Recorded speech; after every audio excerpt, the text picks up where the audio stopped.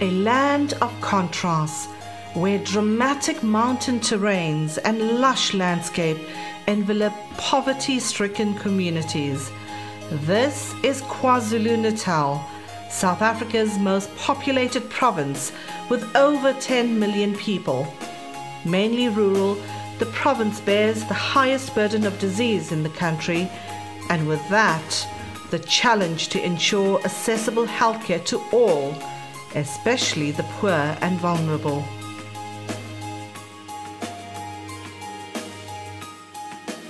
Um, traditionally, throughout the world, including here in Durban, medical students have been trained in large tertiary hospitals and large centres, such as uh, King Edward VIII Hospital and Nkosi Albert Luthuli Central Hospital here in Durban. The trouble is that this is in many ways a very artificial environment. Less than 1% of the province's healthcare takes place in hospitals such as that. So we really can't expect to be relevant if our students are learning to practice their medicine under conditions which apply to just 1% of the actual circumstances under which they're meant to practice. So the answer clearly to increase relevance is to take training to the areas where the bulk of healthcare is actually provided.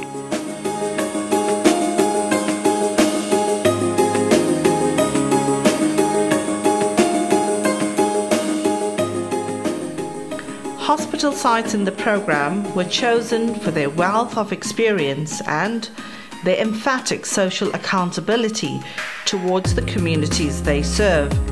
Bethesda Hospital ranked amongst the most established in KwaZulu Natal, the Church of Scotland Hospital, infamous for discovering XDR TB. The list goes on, and with it, the people who, against all odds, make a difference despite the daily challenges of working within a resource constrained environment.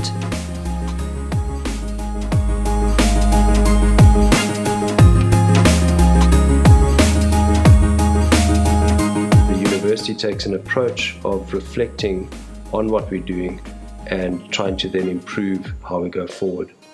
Within the medical curriculum and the broader health sciences, we've seen many challenges of the curriculum not really producing fit for purpose graduates in the new South Africa.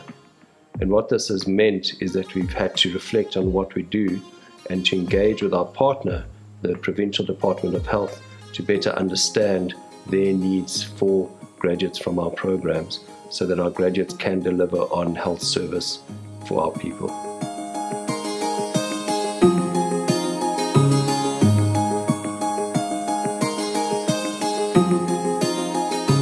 There is is a type of preparation that we need to ensure that students are ready for. And we are moving in the curriculum for medicine in this university, we are moving them from the basic knowledge and skills, theoretical knowledge and basic skills early on in their career to more and more of practical work. And this sort of practical work helps to prepare them for the reality on the ground. There's no other place that's really well situated to prepare them, to give them that opportunity for hands on experience than the district hospitals we have in this province.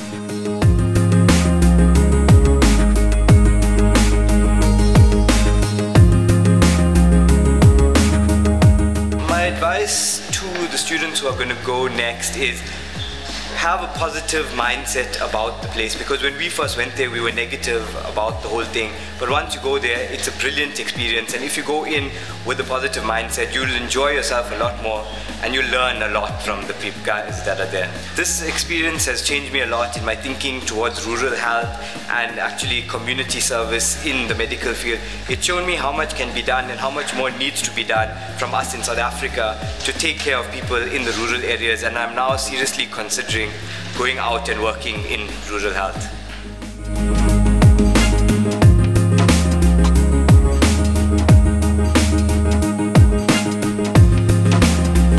Out of this experience, uh, the things that I've learned is that um, basically it is important that we should understand that as doctors, we are put there to make a difference.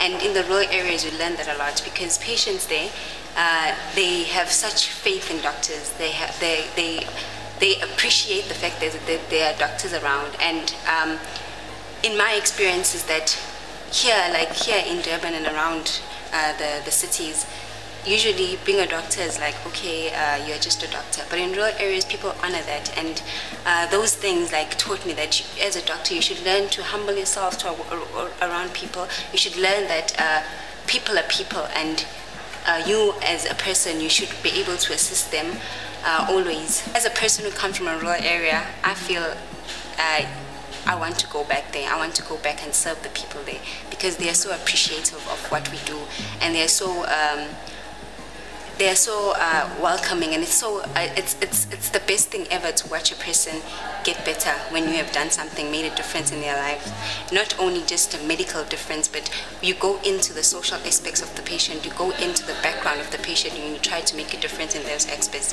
So uh, me as a person who comes from a rural area i really think that i would love to go back to a rural area and serve the patients there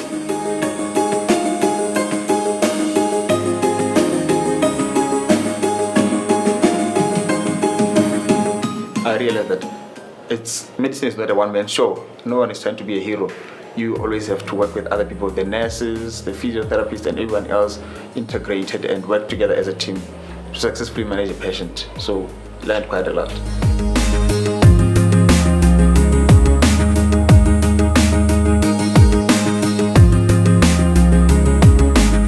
Um, yeah, being in a real setting um, is uh, rural hospitals are usually under-resourced in terms of uh, staff, in terms of facilities, and in terms of uh, equipment. So uh, one, one great thing I learned is improvisation. You have to do with what you have uh, in order to manage uh, patients. And that is one thing that I learned, and I believe that prepares me to also work in in future, work in under-resourced settings uh, quite effectively instead of getting frustrated or complaining about the lack of resources. so that was quite a great thing.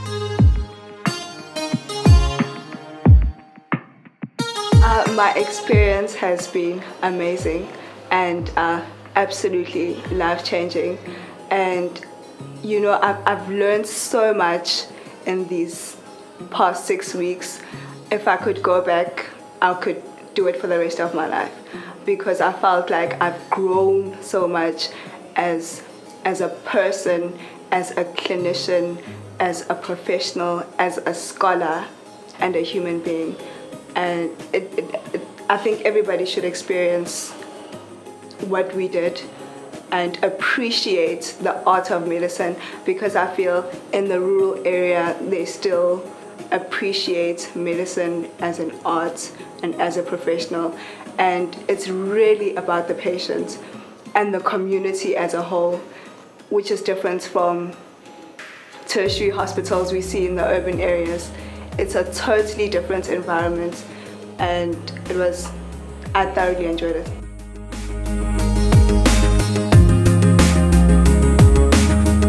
So one of the reasons that students, staff and uh, professionals don't want to go back to rural areas to study or to work is a feeling of isolation, both from a personal level, they feel that they are going to be locked up in some area that has no access to friends, family, support, but also academic supervision. There's a perception that if I go to a rural area, I'm not going to have the same standard of teaching because I don't have the same academic support.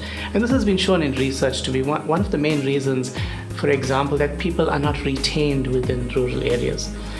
So, based on this, MEPI decided to put in place at uh, 10 hospitals in KwaZulu Natal um, an IT infrastructure that would allow students and staff to be able to get onto the internet, to be able to access wireless internet, to, so that they could both keep in contact with uh, family, with friends, but also to keep in contact with their educational institution.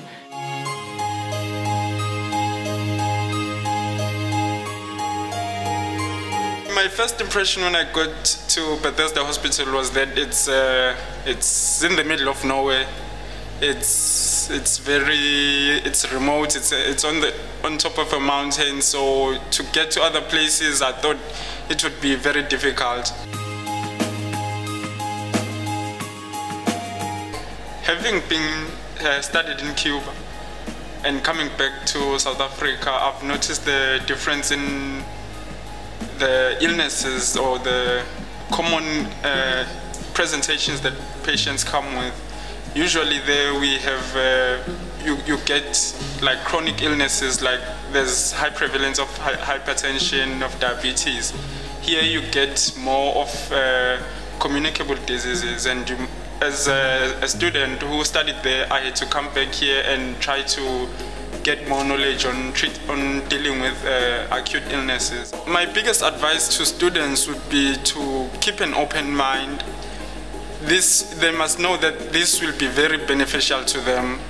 If they apply themselves to it, they will learn a lot than staying in their room and reading a book.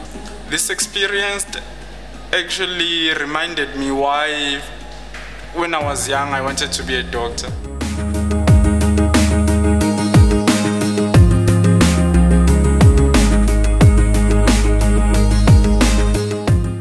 Definitely go back.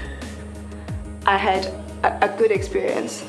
Um, like I, I was saying, I grew so much. My clinical skills have improved, my communication skills. I mean, when I got into medicine, I I did it because I loved it. And the first couple of years, they are very difficult. You get lost with the textbooks and so the whole fun of practicing medicine is just lost along the way. Tutorials etc but when you're really out there and you see the work that you do and how people appreciate it it makes it worth it. You just have that encouragement to wake up every morning knowing that you are going to change people's lives. It's a huge responsibility, especially on a student, but it's the most rewarding thing I've ever done in my life. So I would definitely go back.